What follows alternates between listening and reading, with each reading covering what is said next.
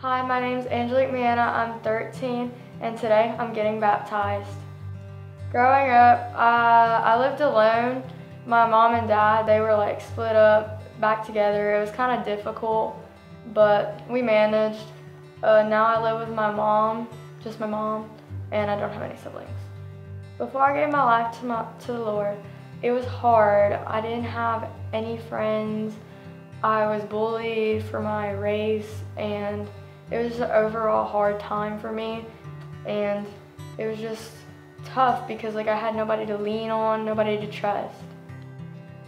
When I gave my, my life to the Lord, it was awakening. Like it was ama- it was an amazing feeling and it just the weight lifted off my shoulders felt amazing and I felt like I really had somebody.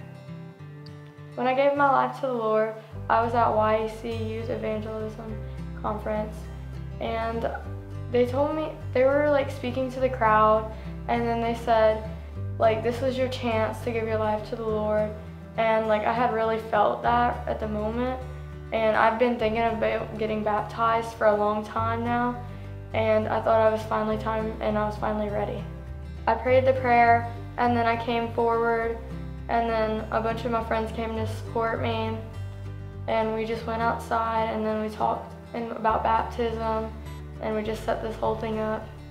Now that I gave my life to uh, Christ, it's been a lot easier. I've had somebody to hang on to and just to overall be myself around and I've changed a lot and I really like the new me. I like to thank my mom because every Sunday and Wednesday she'd drive me to church and back home and then for all the activities that she's let me done with the youth group because I know that was a lot of money.